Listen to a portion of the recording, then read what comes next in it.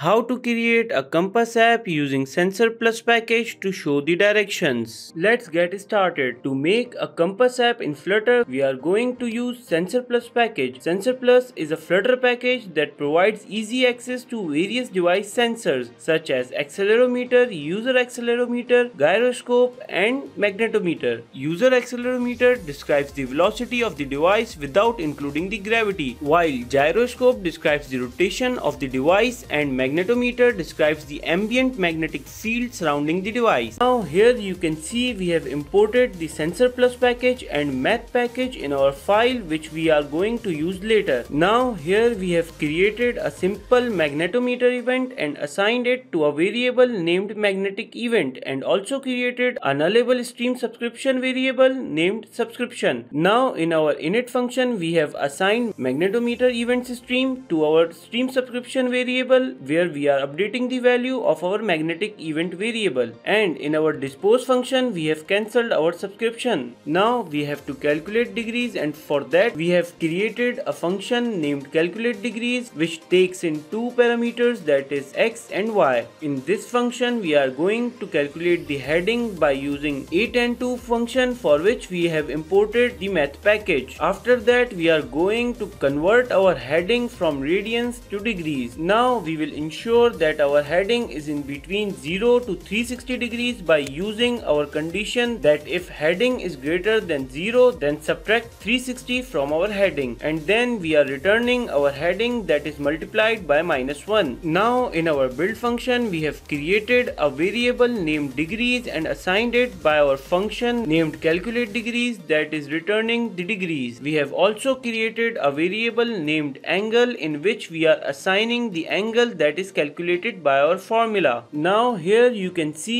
we have used our variable named degrees with dot to string as fixed function to display 0 decimal points after our degrees and our angle variable to rotate our compass image respectively. Now here you can see if I am rotating the device I am getting the directions.